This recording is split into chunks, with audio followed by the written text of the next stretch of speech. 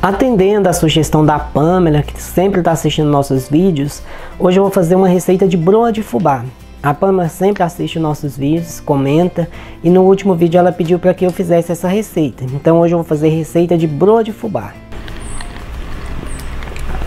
Para começar eu vou colocar o fubá.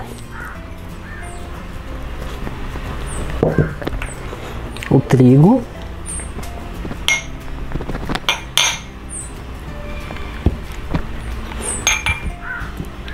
O açúcar,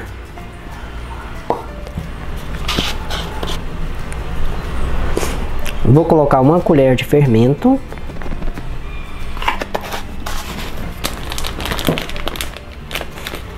canela em pó a gosto. Se quiser colocar erva doce no lugar do, da canela também pode. Agora eu vou fazer uma mistura aqui.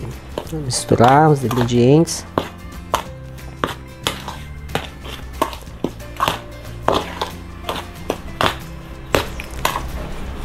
Misturou tudo, agora eu vou colocar duas colheres de margarina. As colheres podem ser bem cheias.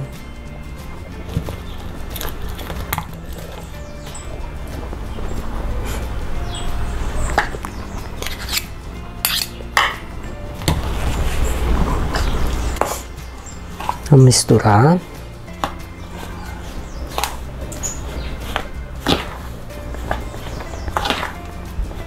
Vou misturar com a colher, mas daqui a pouco vai ter que ser com a mão mesmo. Tem que colocar a mão na massa.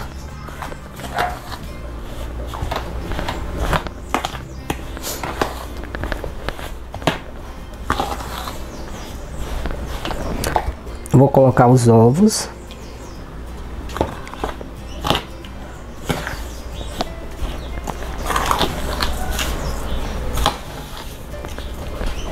Tá vendo que a massa tá bem seca? Essa massa que ela engana muita gente, porque a gente pensa, nossa, tá seca, vai ter que colocar mais ovo ou mais margarina. Só que de acordo que a gente vai amassando ele, o açúcar vai dissolvendo, essa margarina ela vai derretendo e vai amolecendo. Se colocar muito ovo e mais margarina, o que, que vai acontecer? A massa vai ficar muito mole e não vai dar certo. Então aqui agora eu vou sovar essa massa até ela ficar bem molinha. Quando mais a gente sovar ela, mais mole ela vai ficando. Então não coloque ingrediente pensando que ela tá seca não. Olha que o jeito que tá, seco, né? Quanto mais a gente amassa ela, mais mole fica. Olha que o jeito já tá ficando. Só da gente apertar aqui, a gente vê que ela tá ficando macia, ó.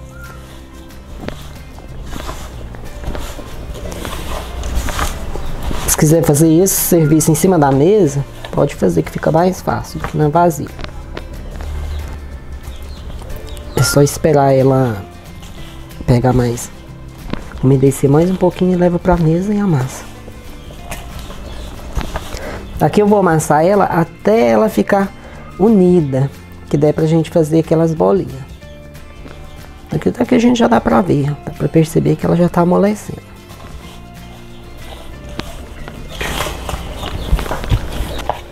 Olha o jeito que tá a massa. Eu fui amassando até ela amolecer mais a gente amassa ela, mais molinha ela fica. Então por isso que a gente não deve é, pensar que ela está muito seca lá no início e ficar colocando ovo ou, ou, marga, ou, ovo ou margarina não, porque é perigoso a massa ficar muito mole. Tá vendo que o açúcar dissolve, a margarina ela derrete, vai ficando molinha. Então mesmo que começa seco lá no início, não tem problema. Vai amassando até ela chegar a esse ponto aqui, ó. Tá vendo que ela nem tá grudando mais no fundo, ó? Tá soltinha, a gente coloca lá, ela não suja o alumínio. Então agora aqui tá bem amassado, tá bem misturado. Agora aqui é só enrolar e levar no forno médio.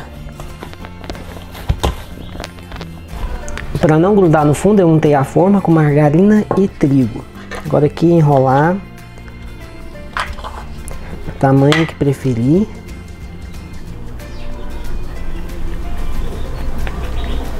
colocar na forma.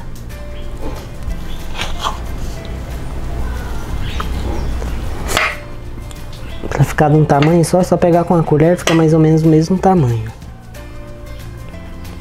Aperta um pouquinho para ela ficar meio esporrachada.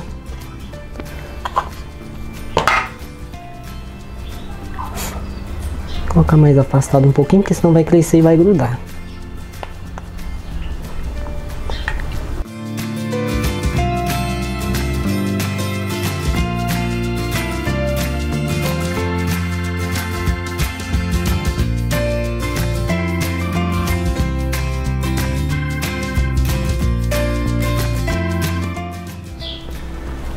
Pronto, enrolou, agora é só levar o forno médio.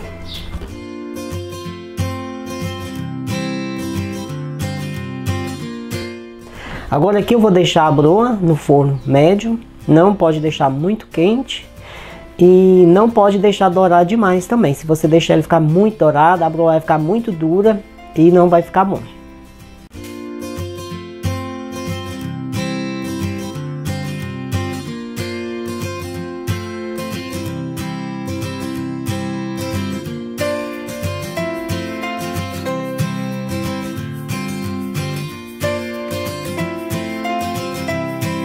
Depois de 40 minutos em forno com temperatura média, eu retirei.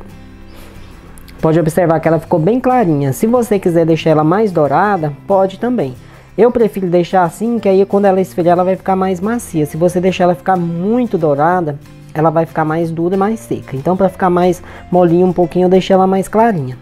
Na hora de retirar da forma, mesmo que eu untei a forma, é bom esperar um pouquinho ela esfriar para ela não quebrar. Porque como ela grudou, ela cresce muito, ela gruda uma na outra. Então é perigoso eu retirar ela quente aqui da forma e ela quebrar.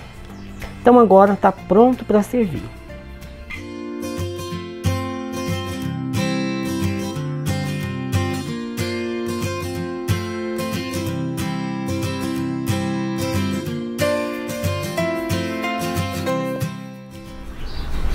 Olha como que ela ficou por dentro, né?